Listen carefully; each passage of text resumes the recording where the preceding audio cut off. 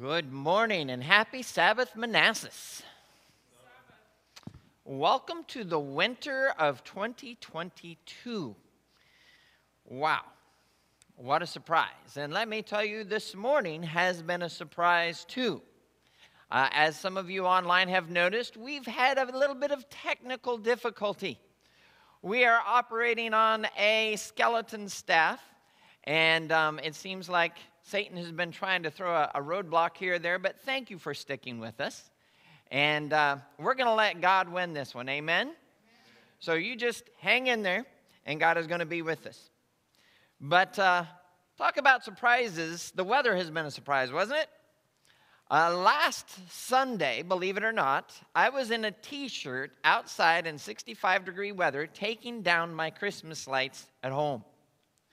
The next day, Temperatures dropped below 20, and we got seven inches of heavy wet snow. You guys all know what I'm talking about because you got it too. what a change, right? And uh, I guess Mother Nature, if you could go to the next slide for me, my clicker doesn't seem to be working. Mother Nature had a few New Year's resolutions of her own. Uh, she decided to give us a real winter with snow.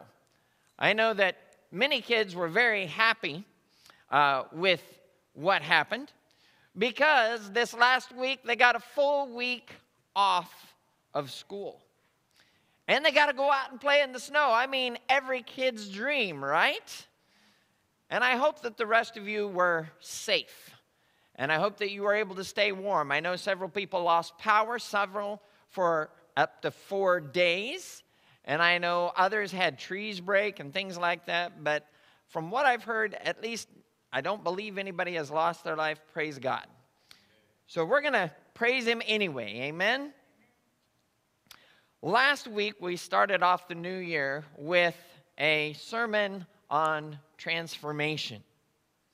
And we are going to be, over the next few weeks, going through this series on transformation. And I'm borrowing thoughts from Rick Warren's series on transformation. And I thought, what a great sermon series to start off a new year with on how God can transform our lives. Amen? Because as we start a new year, we should want to dig into God's Word and set some God honoring goals for being transformed into the people God wants us to be. And our key thought for this series is Romans chapter 12, verse 2. And it says, Do not conform to the pattern of this world, but be transformed by the renewing of your mind. Then you will be able to test and approve what God's will is his good, pleasing, and perfect will. You know, in this verse, God is warning us of what might take place in our lives if we're not careful. If we are not vigilant, we will slowly conform to the pattern of this world. Last week, we noticed that if we are not setting intentional goals for our life, then by default, we are allowing other people to set goals for our lives, which could get us off course. Their goals could pressure and conform us into doing things that maybe we don't want. And unfortunately, at times, we're even unaware that this is taking place. Let me give you an example of how this might happen. In October of 2019, an officer of the cargo ship Priscilla took his turn at the helm so that the captain could go down below deck and get some much needed rest. As he took his turn, the captain said, Look, I have set us on a course. Just maintain this course. The officer says, No problem. I can do that.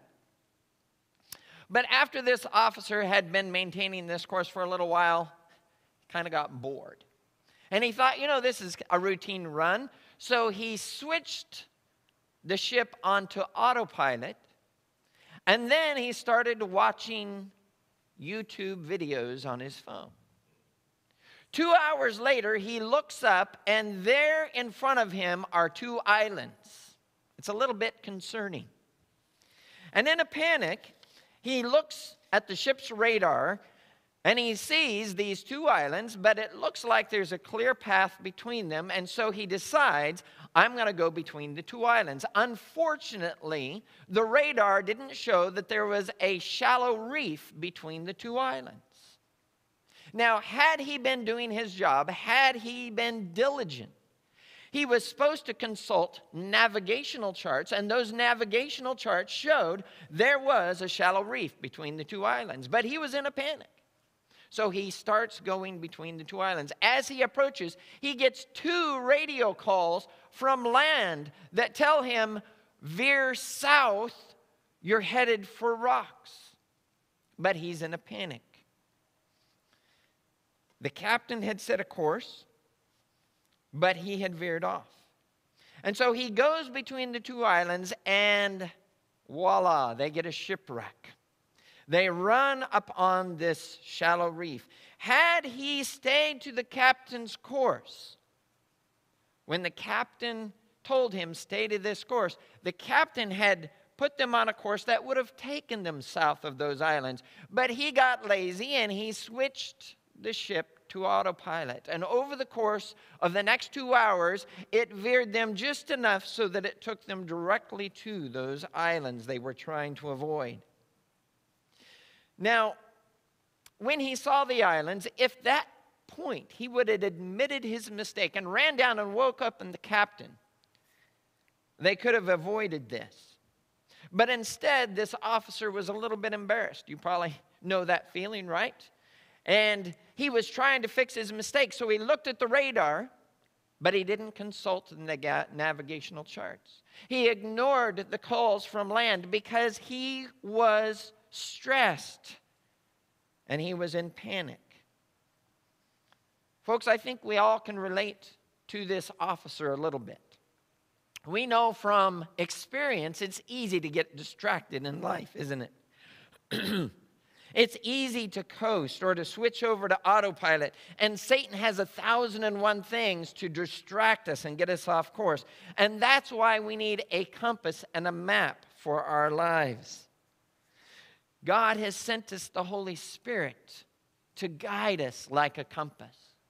God has given us the Bible as a map to keep us on track, but we have to be vigilant on our journey toward heaven, or we will get distracted and we could make a shipwreck of our life.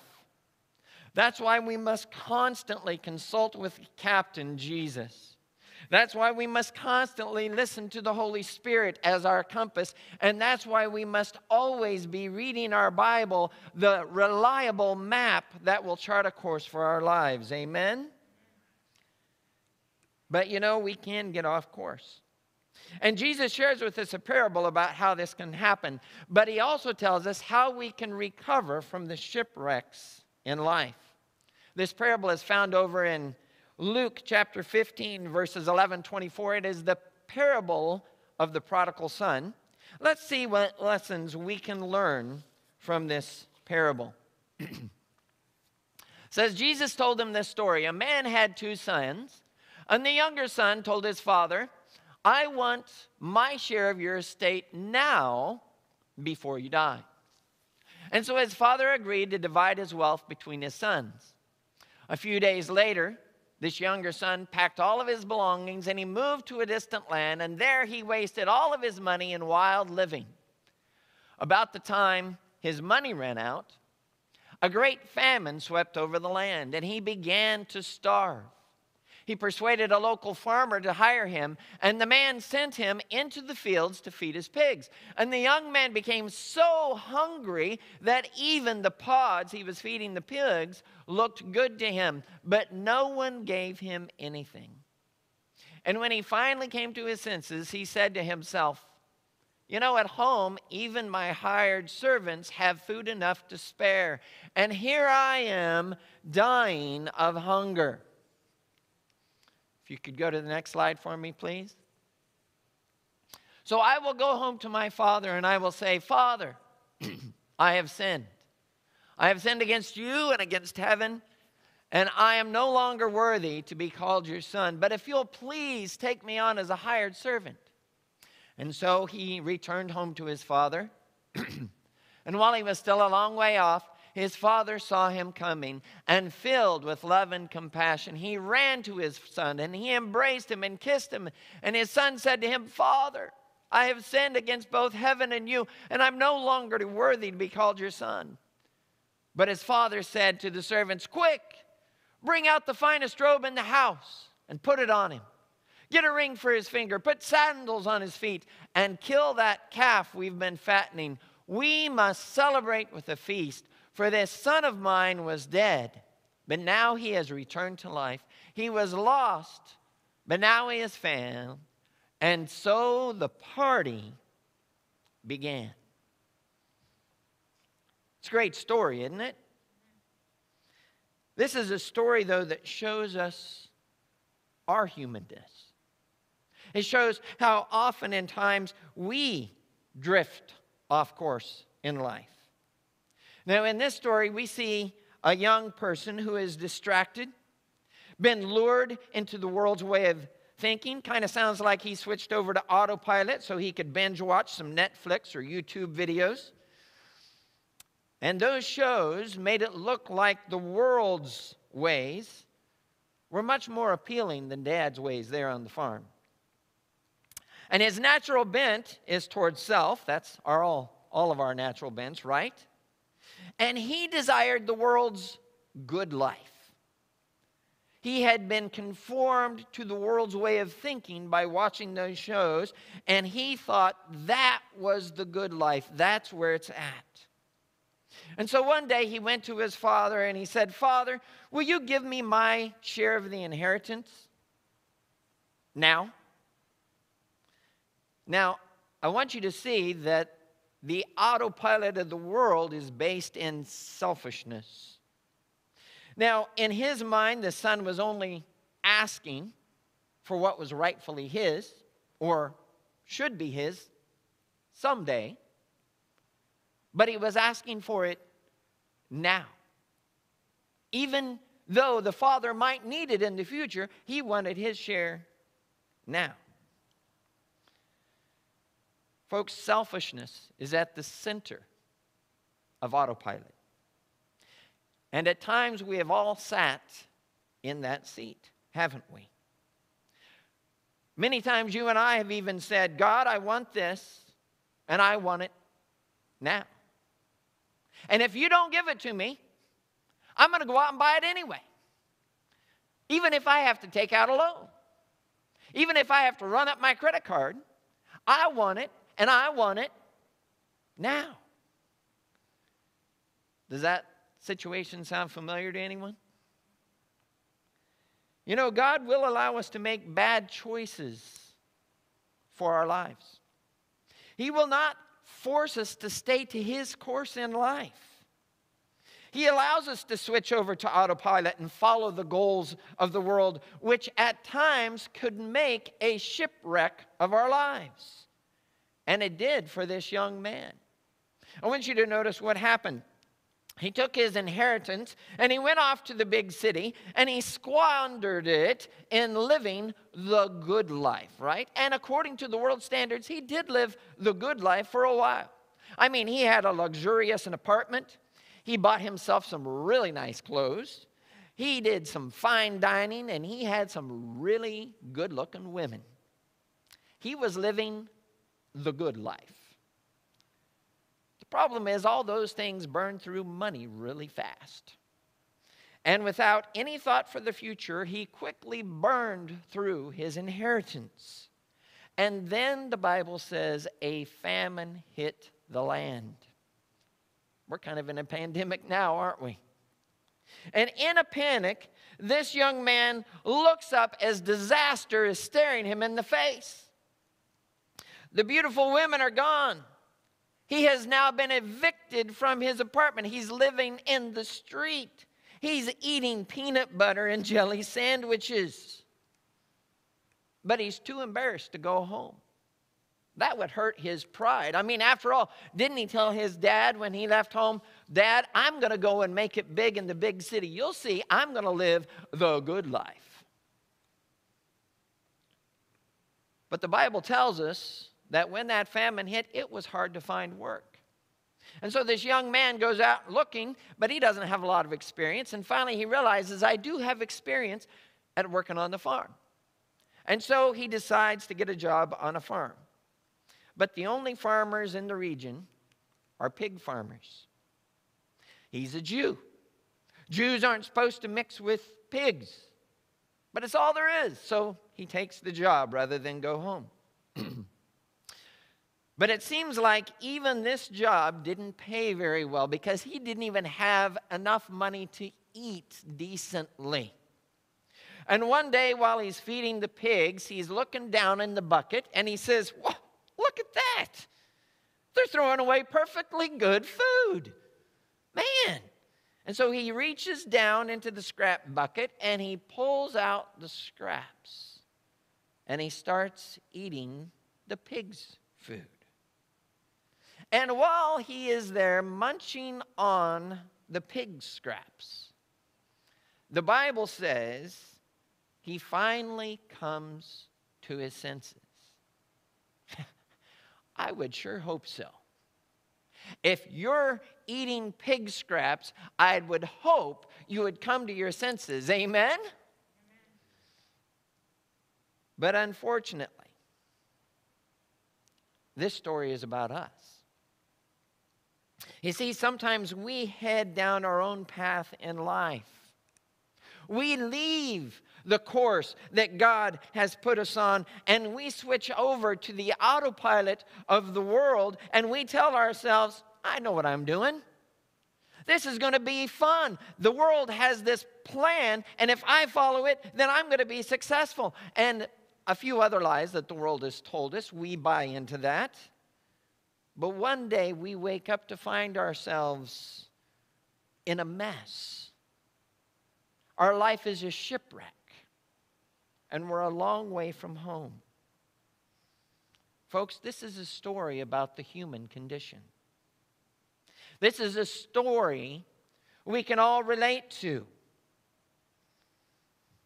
Because at times we've all chosen our way over God's way. And at times we've all come to our senses and we have realized, man, I've made a real mess of my life. But then what can we do? How can we get our lives back on track? How can we be reconciled with the Father? The good news is that this parable tells us how we can get our lives back on track when we've made a shipwreck of things in our lives. And this parable gives us four keys for getting back on track with God. And the first key is that we need to wake up. We need to wake up like the officer on the ship and the young man in this story. We need to wake up and look around us and take an honest assessment of our lives and where we are and if we've wandered off track. If you want to be transformed in your spiritual life, then you've got to wake up and you've got to look around and you've got to admit, I have drifted off course. But more than that, You've got to get fed up with yourself and the decisions you've made that brought you to this place in your life. Little side note on uh, the connection card that I asked you to look at. There's one little place down there earlier in the next steps that says, Send me a spiritual assessment form. If you want to take a spiritual assessment of your life so you don't end up like this young man here, then you can check that box and turn it in later. Too bad this young man didn't have it because he didn't wake up or get fed up until he was pulling scraps out of the pig bucket and munching on them. But you know what? Often that's the way it is with us too. Often we are so blinded by our own selfish ambitions and desires that it isn't until we have made a shipwreck of our lives that we come to our senses. You know, like the prodigal son, many times we have taken a course in life that has caused us to lose our job or lose our possessions or maybe even lose our spouse or our family. And then, only then, do we wake up and come to our senses. And let me tell you, that is a hard place to wake up in. Amen? But the Bible says. He finally came to his senses. Folks, I'm going to here let you know today that is the place where transformation starts. That's the beginning point. When you finally come to your senses, it isn't until you come to your senses, it isn't until you are willing to admit, I have got off course.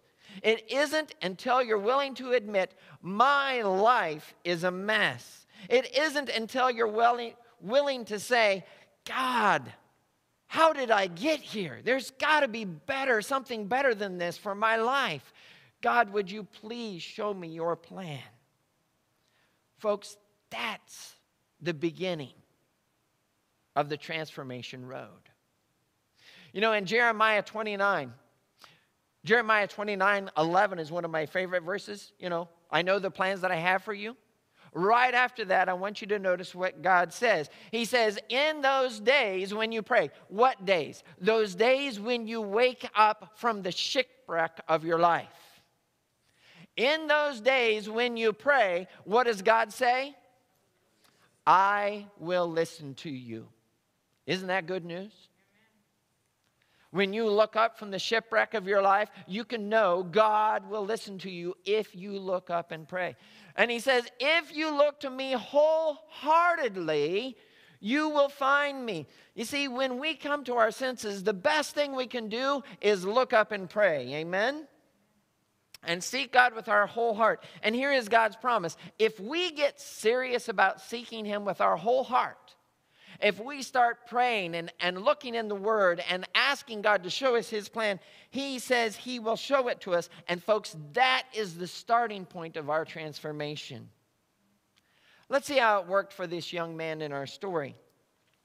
The Bible says, when he finally came to his senses, he said to himself, At home, even the hired servants have food enough to spare.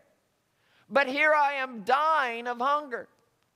I'm going to go home to my father and say, Father, I have sinned against both heaven and you. I am no longer worthy of being called your son. Would you please take me on as a hired servant? Folks, step one is to wake up to our situation and get fed up with it. Step number two in the transformation process is to own up to our sins. You see, once this young man came to his senses, he said, This is crazy. Why am I living like this? This is not the good life that I was thinking about. My father's servants are even living a better life than I am. I would be better off as a servant in my father's house than I am now. And the Bible says he owned it he owned up to his situation and he said, I have sinned. I have sinned against God and against my father, and look how I have squandered his wealth. Look at me. Maybe if I go back and beg for forgiveness, Maybe my father will allow me to work as one of his servants. Maybe he'll let me be hired on just as a servant because compared to where I am, my father's servants are living the good life. This is not it. Folks, that's stage two of the transformation process owning up to and admitting our mistakes, admitting that our way is not the right way or the best way, that living apart from God only leads to heartache and ruin. I mean, what were we thinking of? Our sins have led us far away from God and made a shipwreck of our lives. And we've got to own up to it. We have to take responsibility for it. Like the prodigal son, we've got to own our mistakes and admit this is not the good life. And we need to go back to God and we need to say, God, would you please forgive me? Will you please accept me as a servant? And own your sin. Don't try to make excuses. Don't try to blame other people. Take responsibility for your actions before God. And when you do, what do you think God's response is going to be to you? You think He's going to say, It's about time. Why don't you get down and grovel for just a little bit? Is that the way God treats us? Definitely not. I want you to notice how God responded to David when David owned up to his son, sin of adultery and then murder in his tryst with Bathsheba. That was something terrible, right? But I want you to notice David here as he owns up to his sin. This is in Psalm 51, verses 1 through 4. David says, Have mercy on me, O God, because of your what? Unfailing love. Because of your great what? Compassion. He knows God has great love. He knows He has great compassion. Blot out the stain of my what? He admits it. I have sinned. Wash me clean from my guilt. Purify me from my sin. For I recognize my rebellion. Another way of saying that is, I take ownership of my rebellion. It haunts me day and night. Have you ever had your, son, your sins and your mistakes haunt you and you play them over and over again? That's Satan trying to do that, by the way.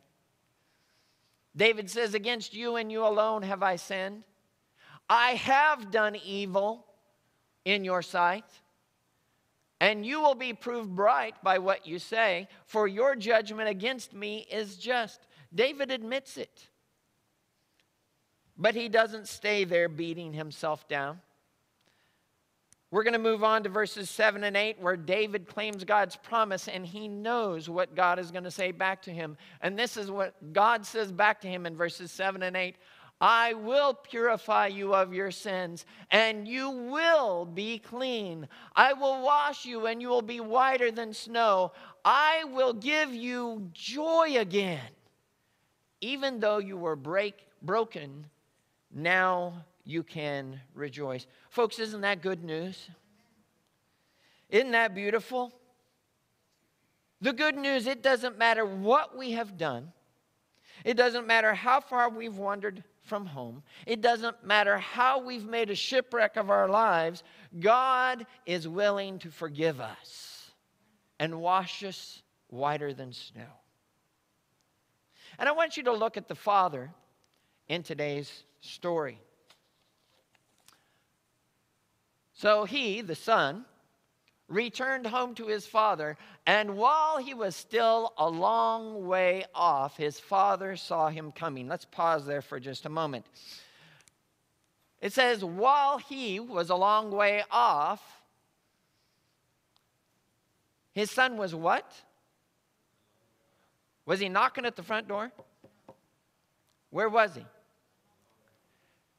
The father had his telescope out. While he was a long way off, the Father saw him coming. God is watching for us. Now, some people say, yeah, he's watching so he can bang me over the head when I make a mistake. I don't think so. God is not out to condemn you. He is watching so he can see when can I rescue him? When is he going to be open to my love and my forgiveness? When is he going to turn and start my direction? Because then I can go out and get him. And I want you to notice what the Father does. The Bible says he is filled with love and compassion. He runs out. He doesn't wait for him to get to the front door. He runs down the road towards his son. He embraces him in a hug. He gives him a kiss. Let me ask you, does that sound like an angry, condemning father to you? No. That is a father who is filled with love for his son. Folks, God loves you. He doesn't rejoice in your failures, but in your return. Amen? God is just looking for you to return, to come home, to accept His love and forgiveness. That's what He is wanting. So, why not return to God today?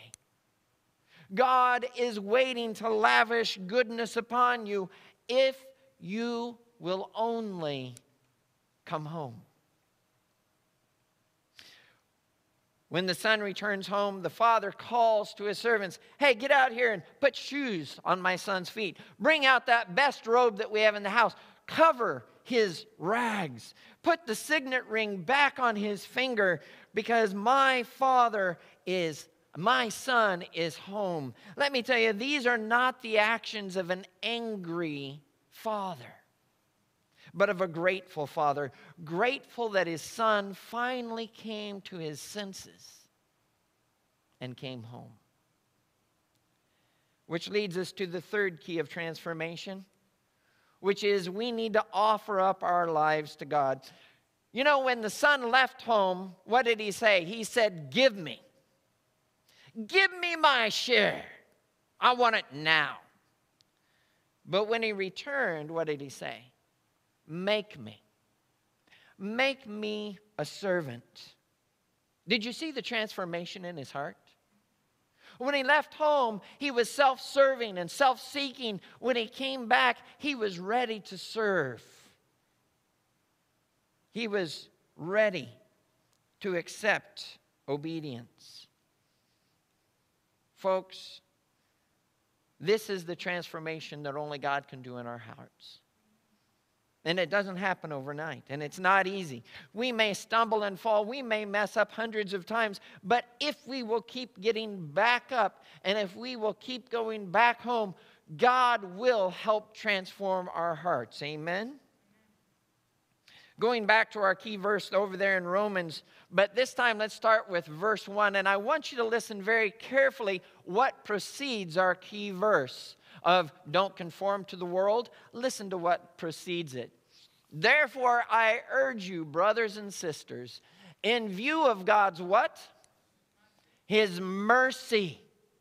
Why are we talking about God's mercy? In view of God's mercy, offer your bodies as a living sacrifice holy and pleasing to God. This is your true and proper worship when you realize what God has done for you and his great love for you and how you've messed up your life and yet how he's willing to take your you back.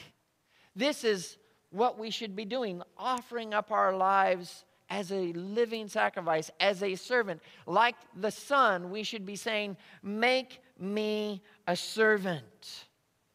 Change me, Father. Recreate in me a clean heart. Folks, that is transformation.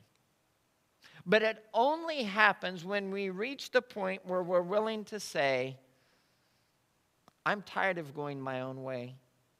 Lord, I'm willing to submit to your way. Please change me. Folks, are you willing to change your life?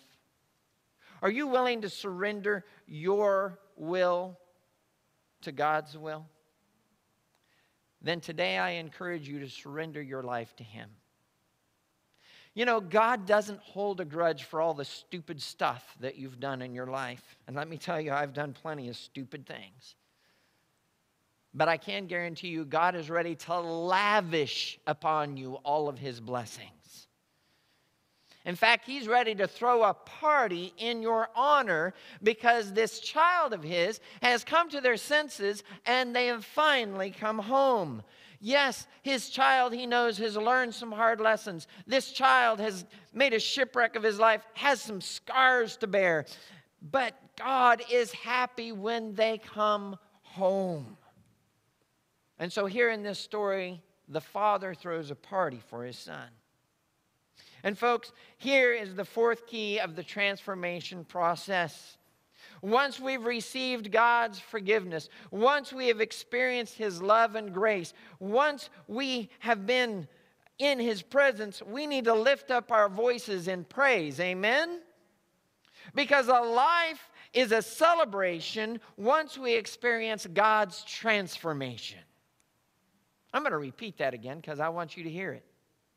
Life can be a celebration once we experience God's transformation. Can you say amen? We need to celebrate God's goodness in our lives. We need to sing his praises to the ends of the earth because he has thrown a party over us. Really, we should be the ones throwing a party over his goodness and his love and his mercy. Amen? And I want you to notice that this father threw a celebration at his son's return. Now, let me tell you what the son was expecting when he came home. He was expecting his father's condemnation, not his father's celebration. But that's our God, amen?